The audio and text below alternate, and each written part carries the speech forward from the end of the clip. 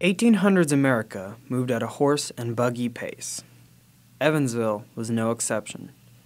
People often lived within walking distance of where they worked. Factory owners and factory workers frequently lived only blocks apart and walked to work together. Around 1900, all that began to change. With the introduction of the automobile, Americans quickly altered their lifestyle. Over the past 100 years, the car had transformed the way we live. Indiana was home to many early auto manufacturers. The turn of the century brought an industrial boom to Evansville. Furniture plants employed thousands of Evansville workers, while an infant auto industry was born. Before Chrysler became Evansville's major automobile manufacturer, there were several firms that built horseless buggies. Will Copeland had a small factory prior to 1910 and built the Simplicity and the Traveler. For a short time in 1907 and 1908, Hercules Buggy built horseless carriages for Sears and Roebuck. About 10 years later, in 1920, Ray, Bob, and Joe Graham natives of Petersburg, Indiana, opened their Graham truck plant on Stringtown Road. Later, this would be the home of Evansville Chrysler. In the early 1920s, Graham Brothers was the leading truck producer in the country. In 1924, 11,000 of their Graham trucks were built. The Grahams would also use the Dodge Brothers drivetrains to power their vehicles. By the mid 1920s, the Dodge brothers bought out the Grahams, acquiring the Stringtown plant with the purchase. Later, Chrysler would acquire the plant when absorbed the Dodge brothers in 1928. The Chrysler Dodge Corporation continued building Dodge trucks in Evansville until the Great Depression struck. In the early 1930s, as people lost their jobs, they also cut back on their spending. Due to slow sales, Chrysler Dodge stopped operations in Evansville at that time but on June 19, 1935, Chrysler announced it would reopen the Stringtown plant and produce Plymouth automobiles. Briggs Manufacturing Company would also open a plant in the old Graham-Paige body plant on Columbia, providing car bodies for the new Plymouths. A special road was built in between both plants so that they could transfer automobiles from one plant to the other. The plants officially opened their doors on October 23, 1935. Because of Chrysler's fiscal management, they fared better during the Depression than many auto manufacturers. At the opening of the plant, Chrysler promised that 3,000 workers would be needed by January 1, 1936, and 5,000 would then be employed within a year of that.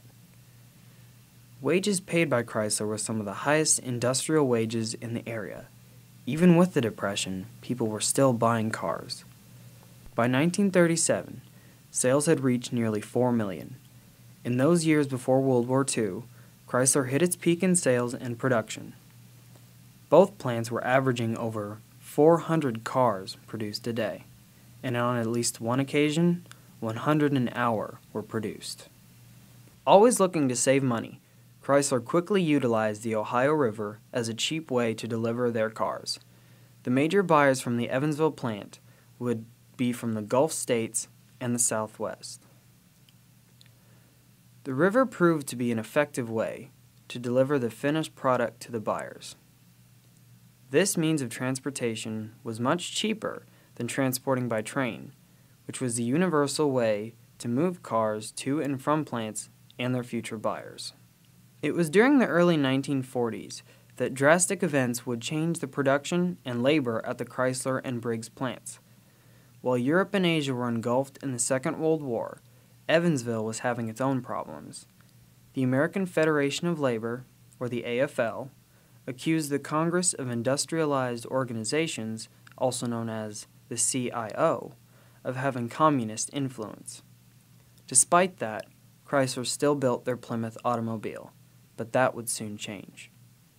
On December 7, 1941, with the bombing of Pearl Harbor, the United States was pulled into World War II. Many automobile plants around the country would get the war order, and Chrysler was no exception. On June 4, 1942, Evansville received the order to produce 45 and 30 caliber rounds, and other specialty ammunition styles.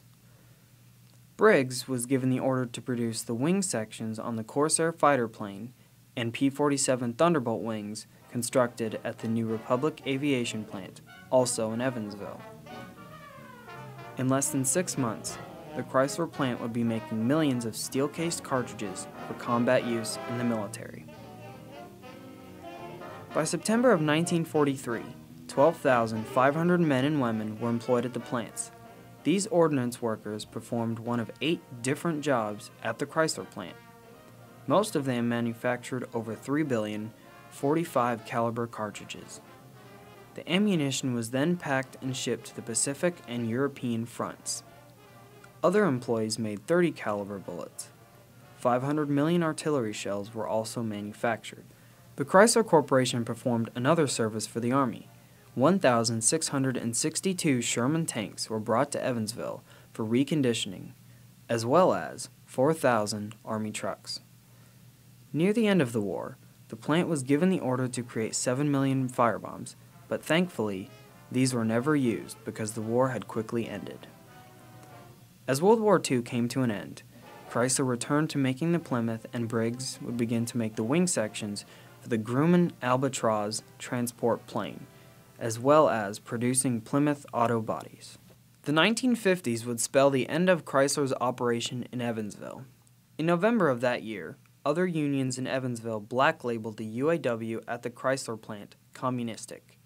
Workers within the UAW disagreed entirely. In 1953, the one millionth Chrysler Plymouth was produced, and Evansville's economy peaked. Over 50,000 workers were employed in the city's industries. Also, a new drastic change to car manufacturing would forever impact industry at the plant and in Evansville in general. Car manufacturers, including Chrysler, were allowing for more options on their cars. Two color choices, a choice of horsepower, transmission, and interior finishing could be selected by the buyer. These choices made it impossible to produce stock cars that had every available option. Car industries decided to produce catalogs that a buyer could order a car with any choices available to that vehicle. The order would then be sent to the manufacturer for the auto to be completed. This meant that a good number of the cars being produced at the time were custom. Confusion occurred on a massive scale in the factories, since normal production was no longer a possibility. Each car on the production line would differ from the one before it. They could no longer have a normal assembly line. Evansville's Plymouth plant was greatly affected by this new change because people did not want to wait weeks, or possibly even months, for delivery. During the early months of 1957, rumors began to spread about the possible closure of the two plants. The company denied the rumor, but employees were noticing that the plants were not trying to become more technologically advanced like other car manufacturers of the time. At the same time, Chrysler was home to many wildcat strikes. At any time when a worker felt that he or she wasn't getting paid enough or the right benefits, they would go on strike. This halted production on more than one occasion because of the Union having so much control in Evansville. That fall, Chrysler made the decision to leave Evansville and move farther west, near St. Louis, Missouri. No, uh, we all, everybody had a chance to go to St. Louis if they wanted to go. but uh, like the mother guys with me, they choose not to go, and and I did too, and so. But uh, we got pay the a severance pay. And they, they said if you draw it all out, you wouldn't be entitled to a retirement. Other plants such as International Harvester Refrigeration, Servel, and others were also shutting their production down. Many jobs, Nearly 25,000 workers between the three plants would be lost due to the closure. In 1959, the Chrysler plants were officially sold, and the only automobile producer left in Indiana was Studebaker in South Bend, thus ending a promising venture in the auto industry of Evansville. 38 years later, in 1997, Toyota decided to move to the area. Although not in Evansville, but in Princeton, Indiana, Toyota is an important contribution to Evansville's economy. Many people from the city work there, and possibly, 40 years earlier, those workers had family members who worked at the Chrysler plant.